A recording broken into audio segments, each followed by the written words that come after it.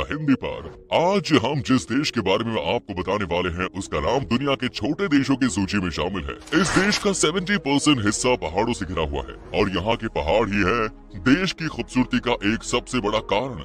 यहाँ के लोग दुनिया में सबसे ज़्यादा नास्तिक माने जाते हैं, और इस देश का नाम दुनिया के सबसे करप्ट देशों में लिया जाता है। इस देश की सड़कें इतनी बार बदली जाती है कि खुद गूगल मैप भी आपको ठीक रास्ता नहीं बता पाता।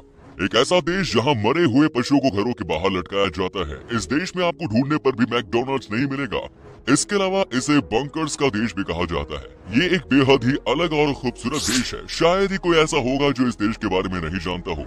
दोस्तों, आज हम बात कर रहे हैं यूरोपियन देश अल्बेनिया की। तो फिर देर किस बात की अपना सीट बेल्ट बाँध लीजिए अच्छे से। और निकलते हैं दुनिया के सबसे खूबसूरत शहर अल्बेनिया के एक शानदार सफ़र पर।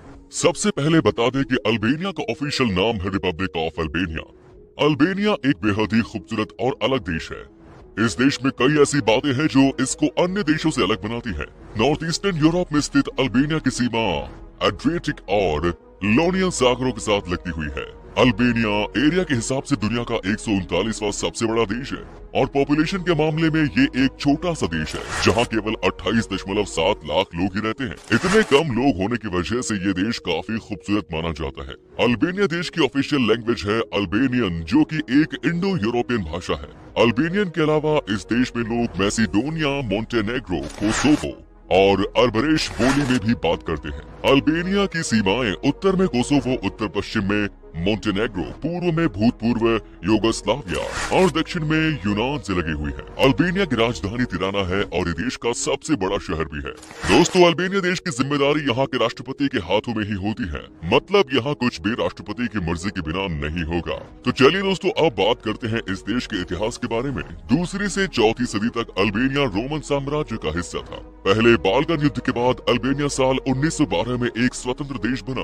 उसके बाद यहाँ पर उन्नीस सौ उनतालीस में इटली ने आक्रमण किया था, जिसके चलते 1943 में नाजी जर्मन के रक्षक बनने से पहले ग्रेटर अल्बेनिया की स्थापना की गई थी। अल्बेनिया की अर्थव्यवस्था, सेवाएँ, कृषि और इंडस्ट्रियल एरियाज़ पर सबसे ज़्यादा निर्भर है। यहाँ की इकोनॉमी इक्कीस दशमलव सात प्रतिशत कृषि से आती है, जबकि 50 परसेंट ऐसी ज़्यादा सेवाओं पर अल्बेनिया की इकोनॉमी टिकी हुई है। यहाँ लोग खूब खेती करते हैं और लोग अपनी खेतों में फ़सल की रक्षा करने के लिए एक से बढ़कर एक तरकीब अपनाते हैं।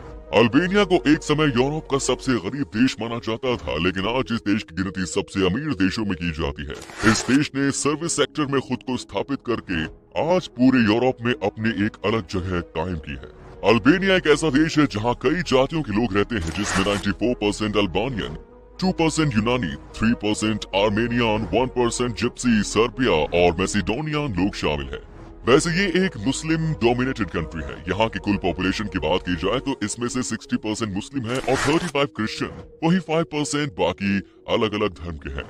लेकिन आपको जानकर हैरानी होगी कि अल्बेनिया का नाम उन देशों की सूची में आता है जहाँ सबसे ज़्यादा नास्तिक रहते हैं। जी हाँ ये एक ऐसा देश है जहाँ कोई किसी भी धर्म पर विश्वास नहीं रखता। साल उन्नीस सौ सड़सठ में अल्बेनिया दुनिया का पहला नास्तिक देश बना। यहाँ की लगभग 90 प्रतिशत ऐसी ज़्यादा आबादी पाठ, पूजा और भगवान को नहीं मानते हैं। ये एक ऐसा देश है जो अपने यहाँ के बच्चों को प्राइमरी और सेकेंडरी की शिक्षा मुफ़्त में देता है। अल्बेनिया एजुकेशन को लेकर बहुत सीरियस है। इन्हें पता है कि अगर देश को आगे बढ़ने में कोई चीज़ मदद कर सकती है तो वो है शिक्षा। 2009 के आंकड़ों के अनुसार अल्बेनिया की लिटरेसी रेट है 98.14 परसेंट जो कि काबिल तारीफ़ है। पूरी दुनिया में अल्बेनिया देश में रहने वाले लोग काफ़ी मशहूर है। दुनिया यहाँ रहने वाले लोगों को अल्बेनियान और इस देश को अल्बेनिया बुलाती है। लेकिन यहाँ के लोग ऐसा नहीं मानते। अल्बेनिया के लोगों ने अल्बेनिया को शकीपेरी नाम दिया है। इस नाम को रखने के पीछे वैसे तो कई बातें बोली जाती है, लेकिन यहाँ के लोग ऐसा मानते हैं कि इस नाम के पीछे का मतलब स्कीपोनिया से लिया गया है। स्कीपोनिया है अल्बेनिया का ईगल। ईगल इस देश के लिए बहुत महत्व रखती है। ईगल इस देश का नेशनल सिंबल भी है। अल्बेनिया के नेशनल फ्लैग पर भी आपको ईगल दिखाई देगा। इस फ्लैग पर दो सिर वाला ईगल बना हुआ है। आपको इस बात को जानकर हैरानी होगी कि अल्बेनिया में स्पीड बोट का उपयोग करना वर्जित है। आप यहाँ भूल कर भी स्पीड बोट का इस्तेमाल नहीं कर सकते। ऐसा करने पर आपको भारी नुकसान भी झेलना पड़ सकता है, क्योंकि अल्बेनिया में स्पीड बोट गैर कानूनी भी मानी जाती है। अल्बेनिया में स्पीड बोट का उपयोग मानव और ड्रग्स की तस्करी, इटली और ग्रीस के समुद्री तटों पर करने के लिए किया जाता है। दोस्तों, अल्बेनिया देश के लोग बिना जूते पहने अपने घरों से बाहर नहीं निकलते। ये इस देश की एक तरह की परंपरा भी है। यहाँ के लोग अलग अलग तरह के जूते पहने नज़र आते हैं, क्योंकि लोग ऐसा मानते हैं कि ऐसा करने से आपके जीवन में खुशी बनी रहती है। अल्बेनिया में एक अलग ही चीज़ है, जो आपको थोड़ा अजीब भी लगे, क्योंकि आपने ऐसा आज से पहले कभी नहीं देखा होगा। दरअसल यहाँ के लोग हर बात का जवाब दूसरे देशों के मुकाबले हाँ का जवाब ना और ना का जवाब हाँ में देते हैं। यानी कि अगर अल्बेनिया को किसी चीज़ के लिए मना करना होगा तो वो अपने सर को ऊपर से नीचे की तरफ़ करके देंगे। और किसी चीज़ के लिए हाँ करना होगा तो साइड की तरफ़। इसके पीछे का क्या कारण है, किसी को नहीं पता। इसके अलावा हाँ और ना की कंफ्यूजन को दूर करने के लिए अल्बेनिया में दो शब्द भी हैं।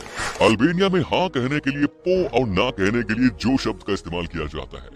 अल्बेनिया देश में एक अजीब सी चीज़ है, और वो ये कि यहाँ के लोगों और यहाँ की सरकार को सड़कें बिल्कुल नहीं पसंद आती। जी हाँ यहाँ हर साल सड़कें बदल दी जाती है, जिसे देखकर खुद गूगल मैप भी कंफ्यूज रहता है। यहाँ गूगल मैप के साथ तो आप गाड़ी बिल्कुल ही नहीं चला सकते। यहाँ हर साल नए रास्ते बनते हैं, जिस वजह से मैप भी गलत रास्ता बताता है। यूरोपियन देश होने के बावजूद भी अल्बेनिया की राजधानी तिराना में एक भी मैकडोनल्ड रेस्टोरेंट नहीं है। सिर्फ़ तिराना में ही नहीं, बल्कि पूरे अल्बेनिया में ढूँढने पर भी आपको एक भी मैकडोनल्ड नहीं मिलेगा। अल्बेनिया देश एक चीज़ में काफ़ी बदनाम है, और वो है करप्शन। इस देश की गिनती दुनिया के सबसे भ्रष्ट देशों में की जाती है। यहाँ की सरकार को तो छोड़ ही दीजिए, देश की पुलिस का भी करप्शन के मामले में कोई जवाब नहीं, साहब। अल्बेनिया की पुलिस बहुत भ्रष्ट है, और ये बात तो खुद अल्बेनिया के लोग भी मानते हैं। यहाँ आपको पुलिस हमेशा ही फाइन काटती हुई नज़र आएगी। हालाँकि इसके लिए अल्बेनिया के लोग भी कई हद तक जिम्मेदार हैं, क्योंकि यहाँ के लोग ट्रैफ़िक रूल्स का बिल्कुल भी पालन नहीं करते। अल्बेनियान लोग ड्राइविंग करते समय सीट बेल्ट पहनना भी पसंद नहीं है। इसके अलावा दोस्तों, अल्बेनिया में अगर कुछ सबसे ज़्यादा देखने को मिलता है तो वो है बंकर्स यहाँ आपको हर जगह बंकर्स देखने को मिल जाएँगे। इन बंकर्स को हमलों से बचने के लिए अल्बेनिया की सरकार ने बनाया था। हालाँकि ये बंकर्स काफ़ी पुराने हैं।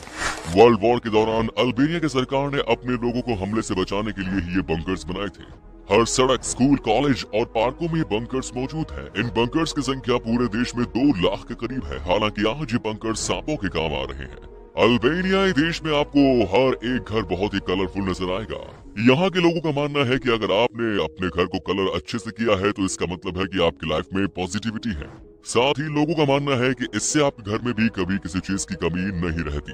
दोस्तों, अल्बेनिया के लोग मरे हुए पशु को काफ़ी शुभ मानते हैं। सिर्फ़ इतना ही नहीं, इस देश के लोग मरे हुए पशु को अपने घरों के बाहर टांगते हैं। अल्बेनिया के लोगों का मानना है कि ऐसा करने से बुरी आत्माएँ घरों में प्रवेश नहीं करती। चलिए दोस्तों, अल्बेनिया के बारे में अब एक और कमाल की बात आपको बताते हैं। दोस्तों, मदर टेरेसा का नाम तो आप लोगों ने ज़रूर सुना होगा, लेकिन क्या आप जानते हैं कि मदर टेरेसा जी का जन्म अल्बेनिया में ही हुआ था? अल्बेनिया के अंतर्राष्ट्रीय एयरपोर्ट नेने तेरेजा का नाम मदर टेरेसा की तर्ज पर रखा गया है। एयरपोर्ट की बात हो रही है तो आपकी जानकारी के लिए बता दें कि अल्बेनिया की ट्रांसपोर्ट और हवाई सुविधा काफ़ी डेवलप्ड है।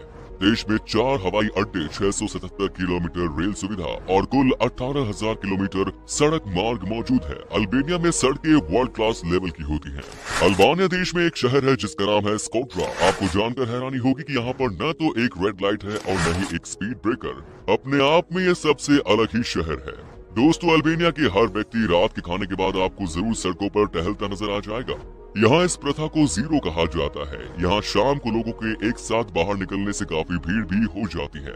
अल्बेनिया के लोगों के बीच डेजर्ट खाना काफ़ी पॉपुलर है। यहाँ हर डिश के साथ डेजर्ट ज़रूर रहता है। भारत के बंगाली लोगों की तरह ही अल्बेनिया के लोग भी मीठा खाना काफ़ी पसंद करते हैं। डेजर्ट के बाद सबसे ज़्यादा अल्बेनिया के लोगों को कॉफ़ी पसंद है। अल्बेनिया में हर कोई सुबह चाय की जगह कॉफ़ी पीना ही पसंद करता है। अल्बेनिया का 70 परसेंट हिस्सा पूरी तरह से पहाड़ों से घिरा हुआ है। यही कारण है कि अल्बेनिया यूरोप के सबसे सुंदर देशों में शामिल है। इस देश की आर्किड झील यूनेस्को की वर्ल्ड हेरिटेज साइट्स में शामिल है। ये झील इतनी सुंदर है कि दूर देशों से लोग यहाँ इसे देखने आते हैं। चलिए दोस्तों, अब हम आपको बताते हैं कि क्या है यहाँ का वीज़ा प्रोसेस और अल्बेनिया में घूमने के लिए आपको कितने पैसे खर्च करने पड़ेंगे। आपको बता दें कि आपके पास अगर सारे डॉक्यूमेंट्स मौजूद है तो आपको वीज़ा लगभग पंद्रह दिन के अंदर ही मिल जाएगा। और अगर आप अकेले हैं तो आपको अल्बेनिया घूमने के लिए सात से आठ दिन में लगभग पच्चीस हज़ार रूपए खर्च करने होंगे। तो दोस्तों, अल्बेनिया की करेंसी है अल्बेनियन लेक, जिसकी वैल्यू लगभग ज़ीरो भारतीय रूपए के बराबर है। तो दोस्तों, ये था सबसे यूरोप के खूबसूरत देशों में से एक। अल्बेनिया, कैसा लगा? हमें बताइए कमेंट्स में, क्या कभी आपने विज़िट किया इस शहर की और अगर की है तो अपना एक्सपीरियंस हमारे साथ शेयर ज़रूर करें। उम्मीद है ये वीडियो आपको बहुत पसंद आया होगा। अगर आया हो तो लाइक कीजिए और अपने दोस्तों के साथ इसे शेयर कीजिए। हमारे चैनल को सब्सक्राइब करना ना भूलें। मिलते हैं नेक्स्ट वीडियो में। Till then bye bye